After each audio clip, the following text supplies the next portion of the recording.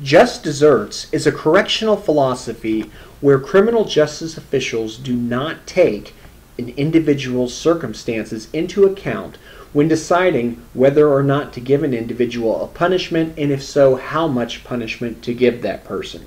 Scholars who advocate for a just deserts correctional philosophy tend to only look at the action, and they seldom, if ever, consider the circumstances which may have led an individual to commit a criminal act. Just deserts is a non utilitarian theory of corrections. The only focus is on balancing the scales of justice. Offenders are punished for the mere sake of punishment. They have harmed, so in turn, they should suffer harm. This will, in turn, achieve balance.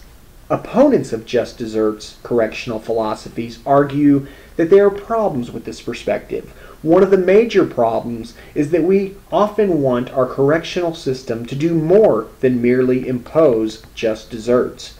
Given the fact that the United States spends over $70 billion a year incarcerating its citizens, we would hope that this money is invested in a manner that re- will reduce crime and make society safer. But according to Francis Cullen and Cheryl Jonson, advocates who favor retribution and just deserts philosophies are primarily concerned with punishing criminals for what they have done. They are not concerned with general deterrence or rehabilitation. It is the punishment and the punishment alone that matters the most. Many scholars tend to use the phrases retribution and just deserts interchangeably. And while there are certainly a number of similarities between these two concepts, there is at least one important distinction. Social conservatives generally believe in retribution and they contend that retribution demands the imposition of punishment on offenders.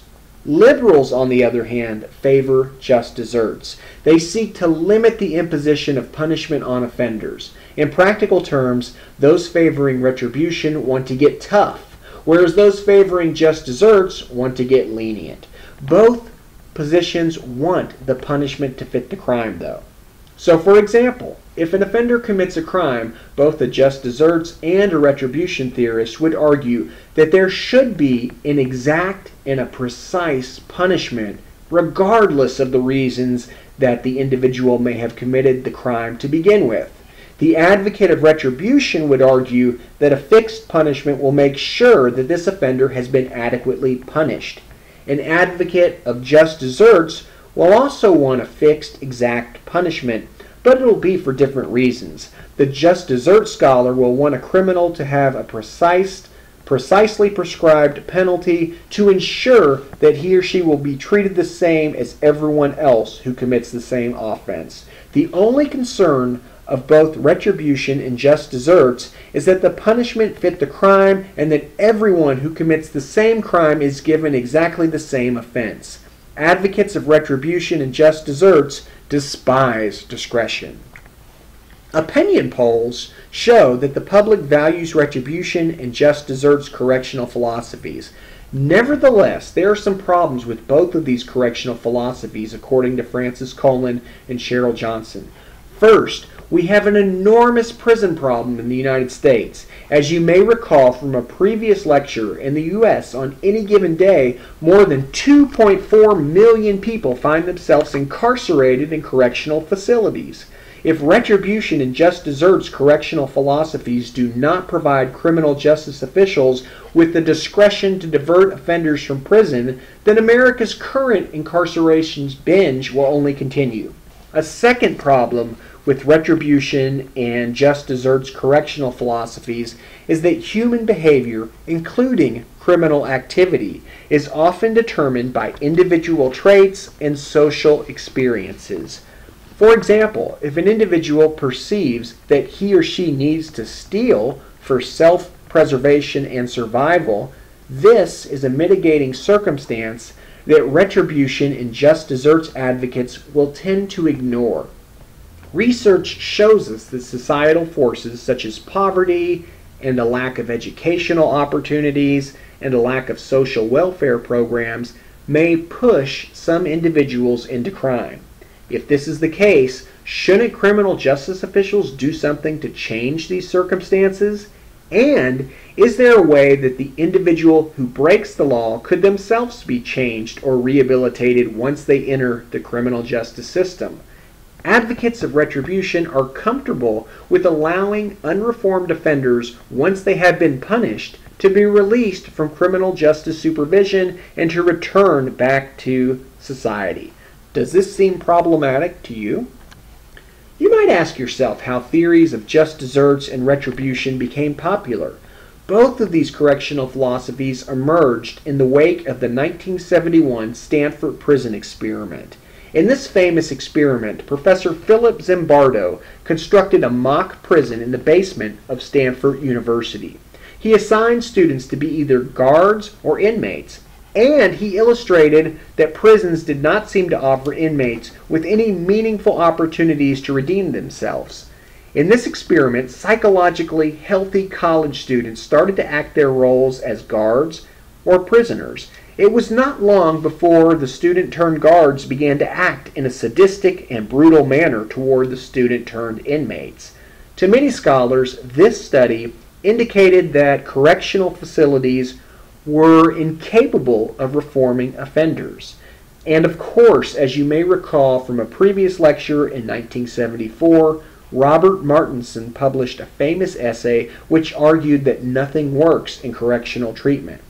Both of the above studies, as well as the political climate of the mid 1970s, made scholars and policymakers begin to look for other correctional philosophies such as just deserts, and retribution.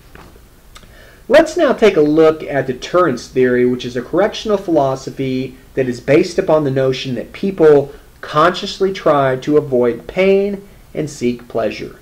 Deterrence theory posits that crime rates will be lowest in places where offending evokes the most pain or costs, and highest in those places where offending evokes the most pleasure or benefits.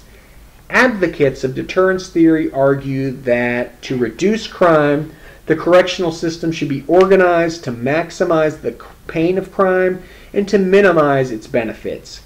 While intuitively this seems to make sense, it is important to point out that not everyone experiences the threat of a correctional punishment the same way. For example, some people are impulsive, short sighted, inebriated, and under the sway of peer influence. Therefore, they might not be able to consciously weigh the potential consequences with the perceived benefits of committing a certain criminal act. Deterrence theory is associated with a view of offenders that can be traced back to the Enlightenment era in the 19 excuse me in the 1700s and with Cesare Beccaria, who is the major theorist who is associated with the classical school of criminology. Cesare Beccaria argued that a punishment will be most likely to deter crime if it is if it is certain, swift, and sufficiently severe, though not overly severe. Of all these, the certainty of punishment is probably the most important. Current research studies indicate that people do not become concerned or as concerned about the severity of punishment if they do not believe they will ever get caught to begin with. When thinking about deterrence theory, one should also know the difference between general deterrence and specific deterrence. General deterrence posits that society punishes an offender so that other people will not go into crime. In other words, the criminal is made to be an example that will deter others from engaging in certain acts. The reasoning behind general deterrence is that by punishing a limited number of offenders, we may persuade a whole bunch of other potential criminals not to break the law. There is also specific deterrence, which posits that if society punishes an individual offender, then this will decrease the likelihood that he or she will not recidivate. However, this is not always the case. For example, specific deterrence would have us believe that offenders who are sentenced to prison would be less likely to recidivate than offenders put on probation. However, the criminological research does not support this finding. In fact, some research has suggested exactly the opposite. The reason for this is that in some instances there may be a brutalization effect where increased punishments are associated with increased crime. For example, let us suppose that a repeat drug offender is sent to prison rather than given probation.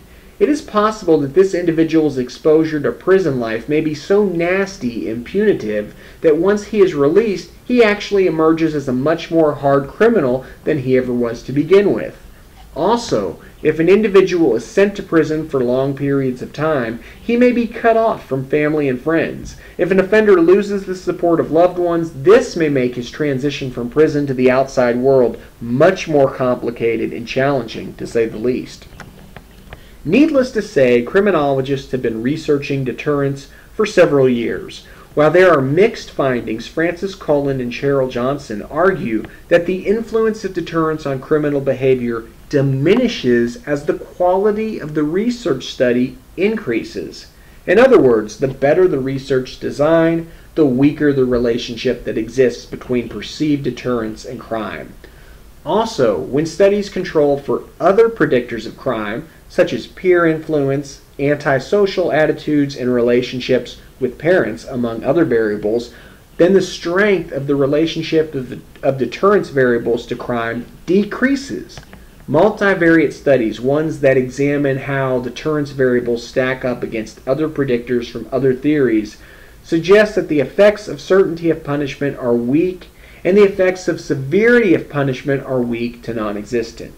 As you are reading through the material for this session, be sure to examine the program known as Hawaii's Opportunity Probation with Enforcement. Here, a judge in Hawaii conducted his own experiment where he assigned misbehaving probationers to immediate, on the spot detention followed by a hearing. A rigorous, randomized experimental evaluation discovered that compared to those on regular probation, the HOPE probationers failed fewer drug tests, they missed fewer appointments, and they committed fewer new crimes. As you reflect upon this study, ask yourself whether or not you agree with the HOPE program. Should comparable types of experiments be conducted? And are there any potential human subjects issues associated with conducting these types of experiments? Also, what does the HOPE program tell us about deterrence theory? And finally, as you conclude all of the reading for this session, take a moment to think about retribution and just deserts correctional philosophies. How do these perspectives compare to the philosophy of deterrence? And of all the correctional philosophies we have discussed so far, which do you believe has the most merit and why?